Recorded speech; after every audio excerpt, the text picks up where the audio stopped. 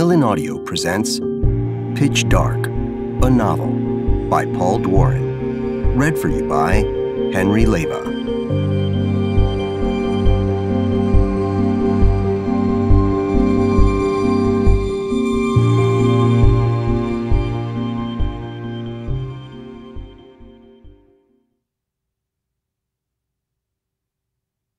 Part 1 No one is so sure of his premises as the man who knows too little.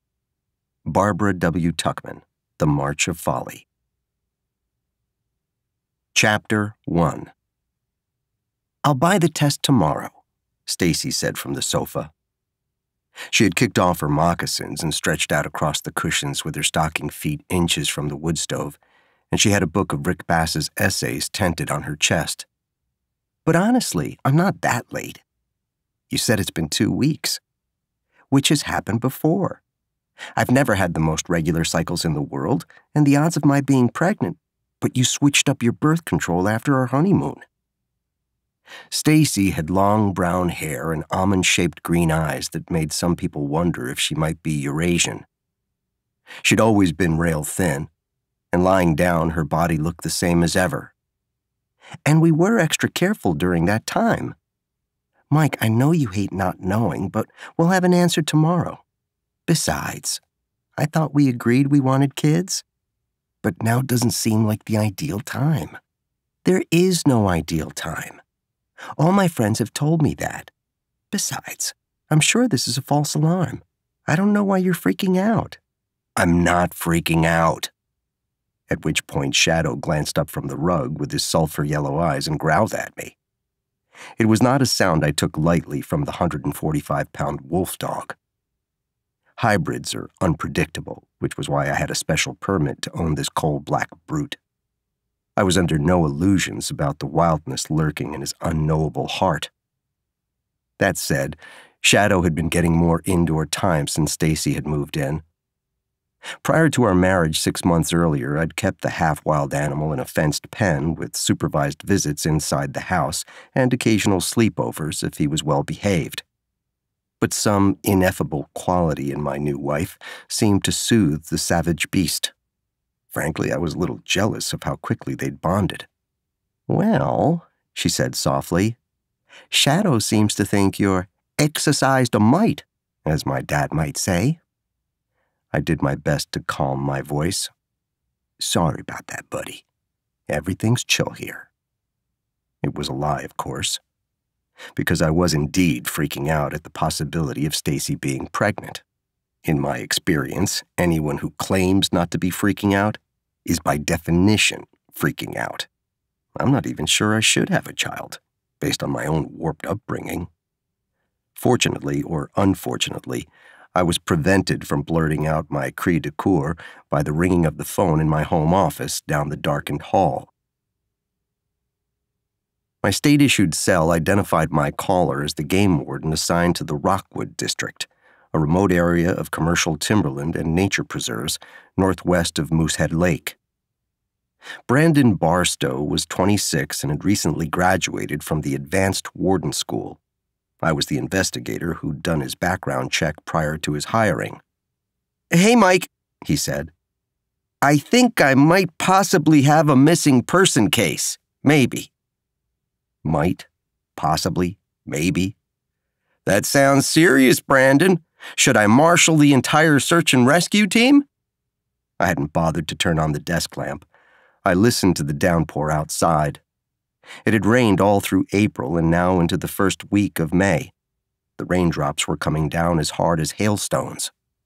You're being a wise ass, he said after a pause. As in nearly all law enforcement agencies, it was part of the culture of the warden's service to haze rookies, but I realized I was taking out my anxiety about Stacy on poor Brandon. He might well have an emergency on his hands and was looking to me as an experienced game warden investigator to provide guidance, not jokes. Tell me what's going on, Brandon. How can I be of help? Well, okay. There's this guy. He's rented a cabin up at Seboomook Farm. His name is Hammond Pratt, and I guess he's from Idaho, according to the license he showed Ivan Ivanov when he checked in. Ivanov was one of those oddball characters who populate the North Woods. A Russian emigre who'd chucked his career as an aeronautical engineer to buy a hunting lodge that stirred his nostalgia for his childhood in the wilds of Karelia. Brandon, meanwhile, was rattling on. Pratt's car is a rental out of the Bangor airport, nothing special, full size Toyota sedan. And uh, anyhow, when he checked in, he asked Ivan if he could arrange to rent an ATV. Maine game wardens are responsible for finding anyone who goes missing in the woods. The trick is determining whether someone is truly missing or not. Lots of folks are bad at informing others of their half baked plans. Wardens waste tons of time searching for people who aren't lost at all, but merely non communicative and inconsiderate. Something tells me Mr. Pratt doesn't have a lot of experience with all terrain vehicles. Why do you say that? Brandon said edgily, as if he thought I was mocking him again. It's been raining for a week, I explained. And Pratt wanted to go mudding alone in some of the roughest country in Maine? Also, the fact that you're unsure if he's missing or not means he didn't leave a trip plan with Ivanov. Most of the logging roads between Moosehead and Jackman are gated and off limits through mud season. Even the roads normally open to four wheelers. Not to mention that the designated ATV trails in your neck of the woods must be impassable after a long winter followed by a month of rain. There's been no time for the crews to clear away the deadfalls. That's all true. I mean, like 100%. The young man couldn't suppress his astonishment at what to me were basic deductions. How did you guess all that? he asked. I've had a lot of experience.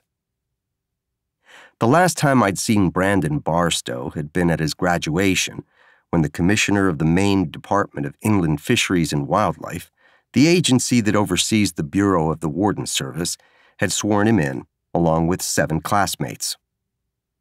What I remembered most vividly was how impossibly young he'd looked in his red and olive dress uniform. Wide eyed and beaming, with an ill timed case of acne on his forehead and a smooth chin that probably didn't require shaving more than twice a week. Had it really been ten years since I've taken that same oath? My first question, I said, is why did Ivanov agree to rent this Pratt character an ATV knowing there was nowhere to ride it? I guess the dude's pretty intimidating, said Brandon. Ivanov told me he's huge, with a shaved head and lots of tats and a gray beard. Middle aged, but you wouldn't want to mess with him. I'm also thinking Pratt slipped him something under the counter for the ATV. He paid for his room in cash, which is why Ivanov didn't have a credit card on file. The story was intriguing me, I had to admit. Whatever Pratt had in mind coming to Seboomook Farm during one of the worst weeks of Maine's most god awful season, I doubted recreation was involved. How long exactly has he been unaccounted for? I asked. Tonight would be the second night. I squeezed my eyes shut from exasperation. The temperature had been freakishly warm in the North Woods, but a person soaked to the skin could succumb from hypothermia in hours. And Ivan only got in touch with you now? The folks at the farm didn't know what to make of him. There's barely anyone staying at the lodge on account of the weather, but I guess Pratt was asking the staff if they knew anything about a man living with his young daughter in the woods nearby. He said they'd be keeping a low profile, this father and daughter. He was offering a $100 to anyone who'd point him in the right direction. Like the home offices of many game wardens, mine was decorated with taxidermy. An eight point deer head gazed down with marble eyes from the wall. A mounted pine marten held a mounted red squirrel in jaws secured with wire and cement. Being morbid by nature, I normally found nothing ghoulish or disturbing about these objects, but there was enough weirdness in Brandon's story that I felt unsettled by their deathly stares. Are there a father and daughter living in the woods near Seboomook Farm? Kind of. That was a yes or no question, Brandon. There's a man from Alaska named Mark Redmond building a cabin for Josie Jonson on Prentiss Pond near the Canadian border. I've never talked with the dude, but I've seen him come into Maynard's a few times to gas up this monster vehicle he owns. It looks like a freaking tank, and Redmond carries himself like he's ex military. He has a little girl, people say, but no one's ever seen her except Josie. You must know her, the bush pilot? Josie Jonson is my wife's godmother. No shit. I want to get back to the daughter. You said Redmond never brings her into town? Never. So he leaves her alone in the woods. Why would someone do that to a young girl? In addition to being negligent, it seems unfathomably cruel. My loud mention of Josie's name caused Stacy to appear in the open doorway behind me. I heard the floorboards creak and turning saw her tall, slim silhouette against the golden light of the hallway beyond. Who is it? she mouthed. I raised a finger, promising to answer. Have you been in touch with this Redmond to see if he knows anything about Hammond Pratt? I asked Brandon. Prentiss Pond is way off the grid. I mean, like, I wouldn't even trust a satellite phone to reach that place. Other than driving out there, and I doubt I could make it tonight in this rain, I wouldn't know how to reach him. Have you tried calling Josie then? She must have a way of communicating with her builder other than flying to the building site. Maybe she talks with him via sat phone or radio. I was going to call her next, if you thought it made sense. Of course, calling Josie Jonson made sense and Brandon should have known to contact Redmond's client before he called me. I had to take a breath and remind myself that I, too, had been a rookie, although my problem had been, and perhaps still was, arrogance rather than indecision. I'll handle it, Brandon. You will? But I want you to call Ivanov back. Tell him that if Pratt hasn't returned by first light, you're going to drive up to Seboomook Farm and stand watch outside the door while the housekeepers clean his room. Isn't that illegal? No, it's inadmissible. If they find evidence that suggests Pratt's engaged in a crime, the prosecutor won't be able to use it. But we're not conducting a criminal investigation into the guy. We're trying to determine whether we have a missing person on our hands. But the maids aren't allowed to search through his personal possessions, right? No, but if they happen to see a map in plain view, for example, and decide to take a picture of said item, I don't know about this, Mike. If you get blowback from your sergeant or lieutenant, which you won't, you can blame it on me. The district attorney has my number on speed dial. I'm sure he does, the young warden muttered. Oh, and take a few photos of the rental car, inside and out. There's no prohibition against your doing that, and you never know what might end up being useful. Stacy leaned against the doorframe with her arms crossed, eavesdropping. She wore my old Colby sweatshirt, over jeans that flattered her runner's legs, and had on buckskin moccasins, handmade by a friend of ours who belonged to the Passamaquoddy tribe. Looking at my beautiful wife, an image of Brandon Barstow at his graduation ceremony flashed through my memory. He was married himself with an infant daughter. I've been meaning to ask, how's your wife taking to life in the North Woods? You two are originally from York, right? Winter in Rockwood must have been a new experience for a couple from southern Maine.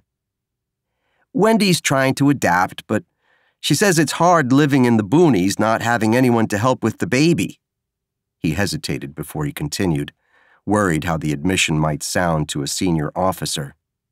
I sometimes wonder if I made a mistake. I knew by mistake he meant accepting an isolated posting in the North Woods with a wife and young child. Nevertheless, I couldn't help but hear his uncertainty through the echo chamber of my own worries. I glanced back at the hall to look at Stacy, but she was gone. Chapter 2 By the time I returned to the living room, Stacy had spread out across the couch again, but she had put aside the book and had folded her hands over her lower abdomen. I wondered if the posture meant she was reflecting on the odds of being pregnant. The room smelled of the birch fire in the stove and the balsam pillow beneath her head, and of the wolf dog, of course. Every room in the house, even the ones he seldom visited, carried his earthy scent. That is what it's like to live with a good sized canine. Shadow cracked one baleful eye but kept the other closed tight. I had no idea how to interpret this watchful gesture. Was I safe with him now or not? Genetically speaking, he was almost entirely wolf, which was how I always thought of him, forgetting the dog part. Slowly, carefully, I took a seat in a rocking chair where he could see me and I could see him. Stacy interlocked her fingers to make a cradle behind her head. Then she crossed her ankles. Why does Brandon Barstow need to get in touch with Josie? I told her what he'd told me. Josie isn't really my godmother, she said when I'd finished. She just likes to call herself that. We hope you enjoyed this preview. To continue listening to this audiobook on Google Play Books, use the link in the video description.